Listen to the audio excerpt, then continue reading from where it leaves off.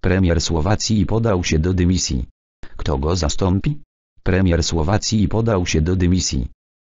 Po trwającym ponad trzy tygodnie kryzysie w koalicji rządowej premier Igor Matowicz oświadczył, że odejdzie ze stanowiska i zastąpi go minister finansów Eduard Heger. Matowicz ma objąć jego stanowisko. Partie dotychczasowej koalicji wyraziły na to zgodę. Matowicz uznał, że rozwiązaniem trwającego od blisko miesiąca kryzysu rządowego będzie jego rezygnacja i że obejmie resort, który opuści Heger.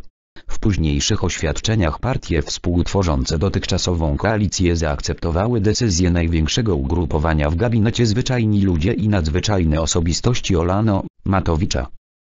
Kluczową była akceptacja warunków ze strony Partii Wolności i Solidarność SAS, której lider Richard Sulik w kończącym się tygodniu zawiesił udział swojej formacji w koalicji, a wszyscy jej ministrowie spraw zagranicznych, szkolnictwa i gospodarki, wycofali się z gabinetu.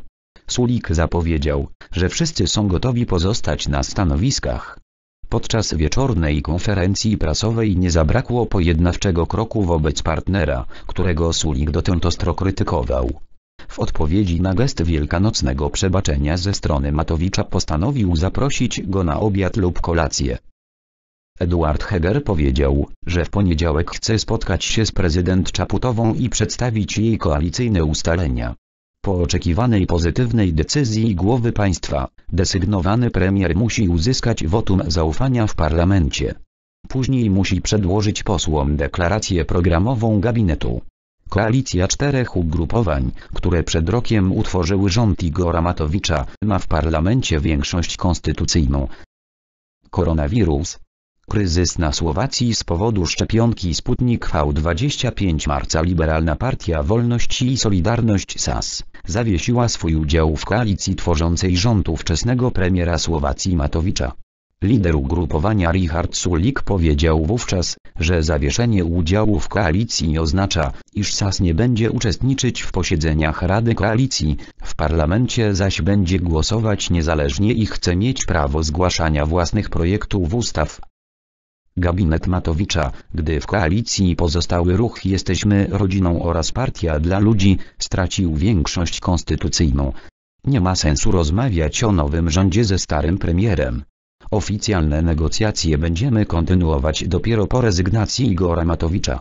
Spodziewamy się, że będzie je prowadzić osoba wskazana przez prezydent Czaputową i dostanie też misję sformowania nowego rządu oświadczył dziennikarzom Sulik.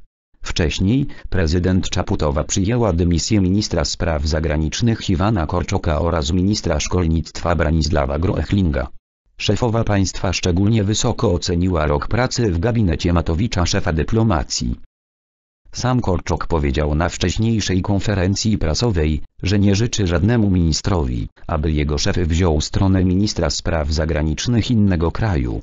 To aluzja do wypowiedzi Matowicza, który dziękował węgierskiemu ministrowi spraw zagranicznych Petorowi Jarto za pomoc w uzyskaniu 2 milionów dawek rosyjskiej szczepionki Sputnik V.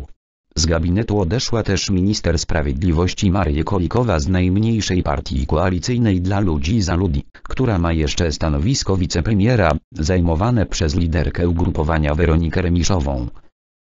Rezygnację ze stanowiska ministra pracy złożył przedstawiciel ruchu Jesteśmy Rodziną Smerodima, Milan Krajnial.